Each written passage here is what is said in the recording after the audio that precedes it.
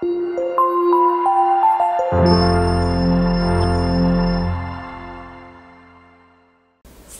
Spanglish Generation, les saluda Dai una vez más.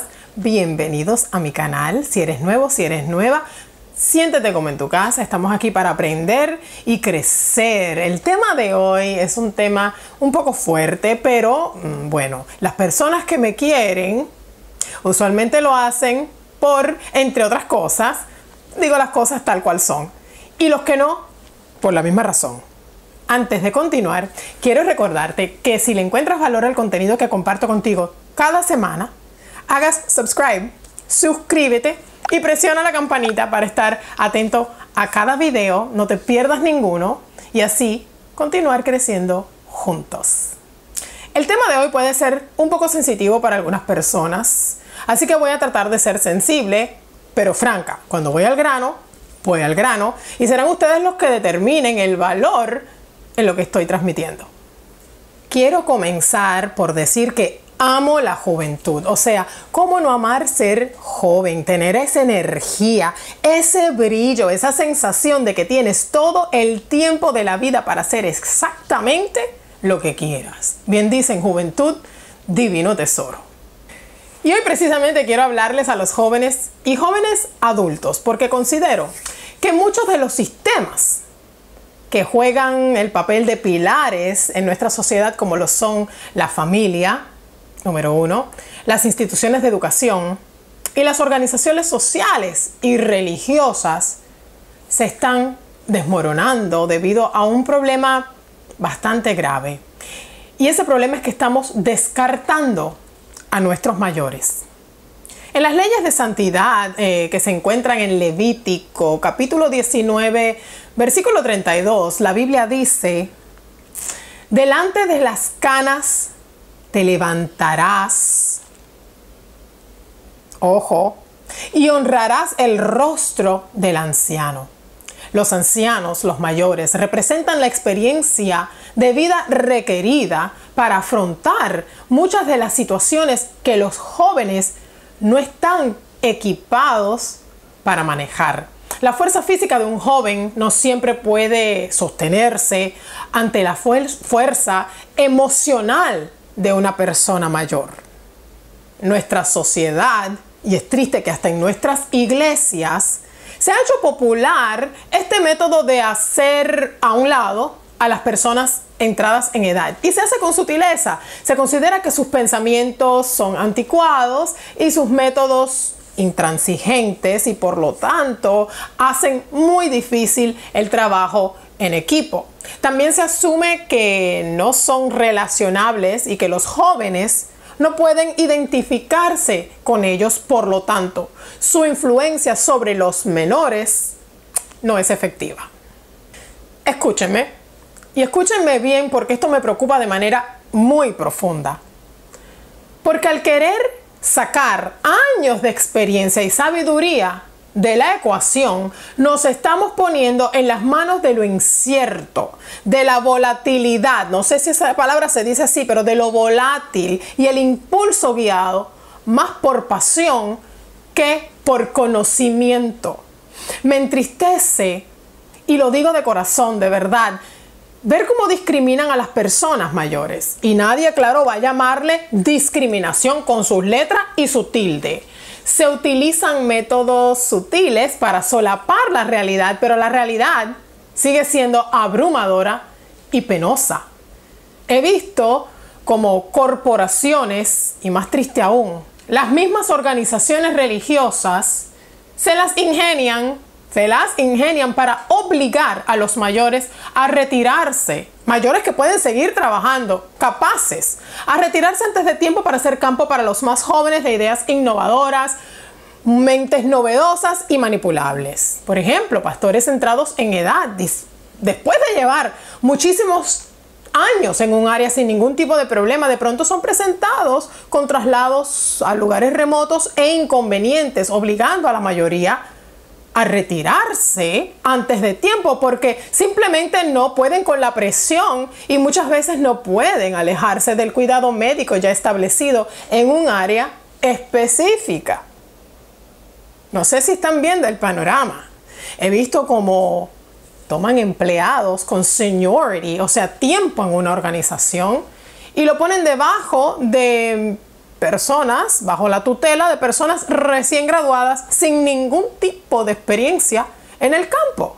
¿Por qué sucede esto? Entendamos que la mayor parte de estos cambios son generados por la desesperación de mantenerse relevantes. Muchas veces sentimos que los mayores están pasados de moda y con sangre nueva vamos a atraer cosas nuevas, nuevas ideas y nuevas personas. También cuando hay una reestructuración de sistemas, los mayores son los que generalmente se oponen, no porque no están de acuerdo con evolucionar, al contrario, están de acuerdo muchas veces con evolucionar con los tiempos, pero ellos vienen con valores basados en experiencia que los hacen más cautelosos. Los mayores también son menos manipulables. Bueno, siempre hay una excepción porque hay viejos que juegan para el equipo que pague y se ponen cualquier bandera.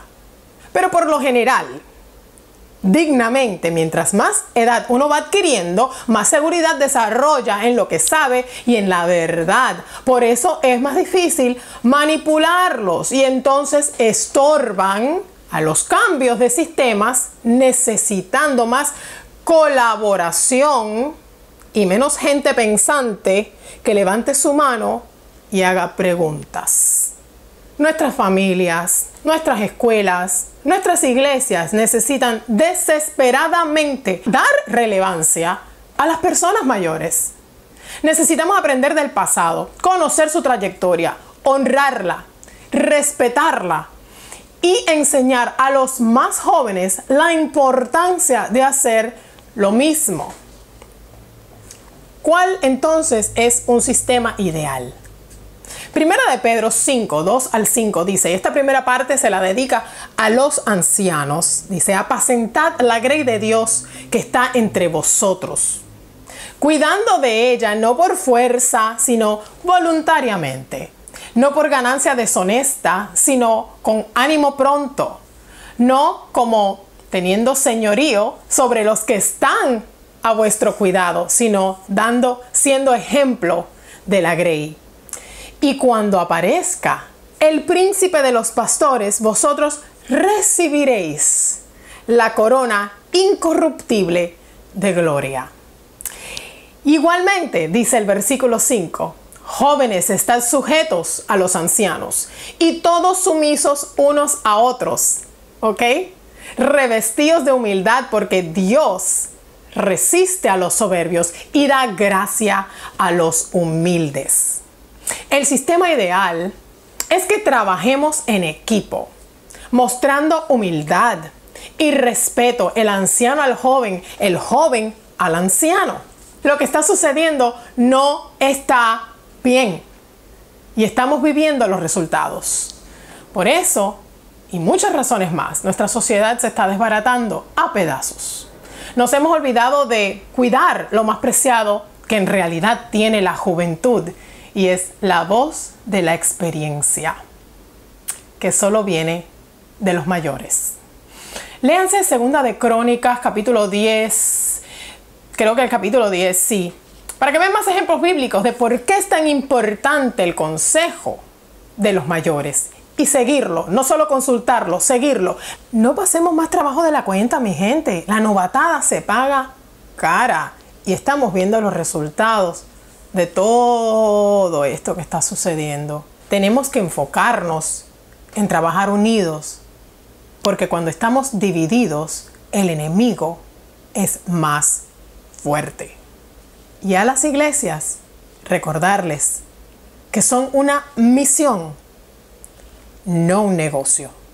Este video quiero dedicárselo especialmente, especialmente a tantos héroes míos, espirituales, guerreros, que hoy ya son ancianos, a los cuales vi a lo largo de mi niñez, de mi adolescencia, parte de mi juventud y a los cuales admiro y me duele ver lo que les ha sucedido por causa de estos cambios de sistemas que no tienen ningún tipo de sentido.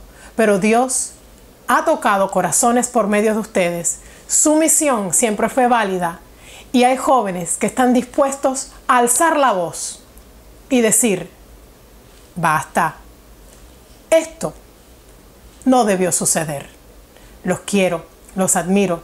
Y a ustedes, Spanglish Generation, sigamos adelante.